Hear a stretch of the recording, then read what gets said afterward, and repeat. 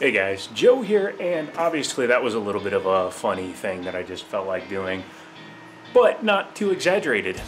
Uh, if you recall from this video, I did a attempt at running quad SLIs on this motherboard, which belongs to a friend of mine. This is an Alienware R4 with a i7-3820, not a K or anything like that, but it was overclocked to 3.9 gigahertz, and it didn't work well. The main reason being is because those cards require PCIe Gen 3. That motherboard only supported PCIe Gen 2, so it was not working. However, the motherboard that's currently in there is an MSI Gaming G45, which is SLI and Crossfire ready and supports Quad SLI, which is the most important thing right now. So the specs on the system are it's a i5 4690K, 16 gigabytes of RAM at 1866 megahertz, and currently two GTX 690s. So as you can see, they're running in quad SLI now. Surprisingly, the 850 power supply seems to be able to power it just fine. Why am I even making this video when I already tried it? Well, it's because it works on this system, so I want to show you what you can actually expect out of a bonker setup like this, as well as compare it to GTX 980. This is just a superclocked GTX 980. It's not a 980 Ti. It's nothing like that. However, I have found that an overclocked 690 is almost the equal to an overclocked 980 at least in benchmarking, and that is an important thing to remember as we go through this video. As other YouTubers have done videos on three-way, four-way, 1080s, Titans, and the like, you'll know that fewer and fewer games and companies and motherboard makers are actually supporting three and four way SLI. In fact, there are some things that won't even work when you're trying to run three or four way SLI. So I went through my admittedly small collection of games and I went and I did benchmark tests and Firestrike tests and the relevant synthetic stuff and gameplay tests using the 690s and a pair of 980s.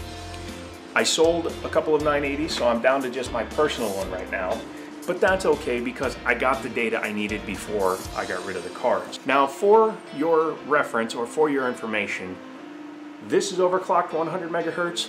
Those are overclocked 100 megahertz. So in terms of the overclock, I applied the same overclock to both cards or both groups of cards. And I was actually pretty surprised and I'll kind of put them up here as I'm talking. But in 3D Mark Firestrike. I just ran Firestrike, I didn't run TimeSpy because it doesn't suggest TimeSpy because even though those are technically four gigabyte cards, each GPU only has two gigabytes of VRAM.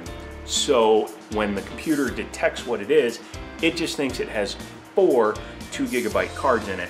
Whereas this card is a four gigabyte card and it shows as a four gigabyte card. In SLI, the GTX 980s in Firestrike returned a score of 29,993, which I think is pretty good considering that a single card is at 15,650. So it's almost a 100% scaling in Firestrike for the 980s. In terms of the 690s, believe it or not, it scales almost exactly the same. A single 690 with both obviously chips enabled, will return a fire strike score of 15,100 and a combined four-way SLI score of 29,453. So it's only a few hundred points behind the 980. I also did some other tests. Obviously, uh, one that actually works well, believe it or not, is Batman Arkham Knight. Now, the game is in no way optimized. However, it clearly shows the difference between SLI and a strong single card solution. When you run the benchmarks on the quad SLI setup, it will hit 100 and 105 FPS with the four cards enabled. However, when you try to play the game at the settings you can play it on this card, which is 1080p, everything set to high, VSync off in order to lock in 90 frames per second, the GTX 690s will fall completely on their face. It actually makes the game completely unplayable because it's trying to use one GPU and two gigabytes of VRAM. Now, obviously, if I drop all the settings down, it will run the game, but not incredibly well because it's trying to use one of the GPUs and two gigabytes of VRAM, so it'd be like running with a single 680, which will run, but not well. And using GeForce Experience itself, I can't optimize it to use more than one GPU, so there's nothing you can really do about that. With the GTX 980, I was able to complete the benchmarks, but keep in mind that when you record using MSI Afterburner, at least in the Batman benchmarks, I was losing 30% of my frames because I was recording it. And it actually is the same way in Grand Theft Auto 5, where I was at 110 to 120 without recording, but as you can see in the recording, the average FPS was around 80 to 90 FPS. So quite a big difference when you're recording using MSI Afterburner versus when you aren't. So let's launch Grand Theft Auto 5 and see what happens. Hi mom, I'm sitting through a lot of menus. Now these are the exact same settings I use on the GTX 980 with one GPU and four gigabytes of available VRAM. Would you load? So the game is loaded and as you can see we're getting stutters, we're getting frame drops and the game actually just completely froze. There we go. So let's see what happens when we go outside. So it's not doing too bad, but you will see once we start getting some uh, opponents, such as Policia, that it's going to start stuttering. And you can see it's actually already dropped down to 80. Don't bulletproof your buffalo. Jeez Louise, man. So now that we're in the city, moving around, shooting people, you'll see that the frame rate is actually, well, when it doesn't do that, is in the 70 to 80 range, whereas on the single graphics card running at 1500 megahertz was actually returning over 100 FPS in this exact same spot. Is this unplayable? No, no, it's completely playable at 80 plus FPS. On most people's monitors, you're going to have a perfectly enjoyable time. Even if I overclock this monitor to 75 hertz, it will still be an absolutely playable experience, except for the stutters that occur every now and then when it's loading in things. But again, this is a four card solution and it's not doing any better than a single card. You can see how bad it's actually even stuttering on the, uh, the pause menu for Christ's sakes. In Grand Theft Auto 5 on one GTX 980, it will run completely smooth, 1080p, everything maxed out except for obviously anisotropic filtering because that is a big hit. And it will run without recording in the 100 to 115 FPS range. Again, everything maxed, very high and ultra. In the case of the 690s, it stutters again because you are again faced with a 2 gigabyte frame buffer yes, you have four GPUs, and technically you have that many's for the RAM, but that many's is only two gigabytes over four GPUs, and it actually introduced quite a bit of stuttering. I was surprised. In CSGO, one 980 gave me better frame rates than Quad SLI. In Superposition Benchmark, it will only use one card.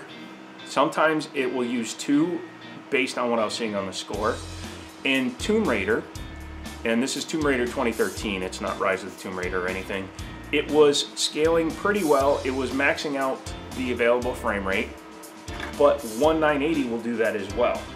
One of the other things you have to keep in mind is you're going to wind up with a jungle sandwich because even though this is an 850 watt power supply and I have three separate available video cables, including two modular and the one that's integrated into the power supply. They are all 4 plus 3 pin because this is not like a 80 plus platinum 1000 watt power supply, it's an 850 watt power supply. So I'm actually boogering together a lot of cables just to power these cards. And it's not a power delivery problem because it's completely stable other than the stuttering from the lack of the VRAM. But yeah, this is one other thing you have to keep in mind. Additionally, you won't be running a side panel on this setup because it will be running way too hot. These graphics cards will get up to 85 degrees Celsius.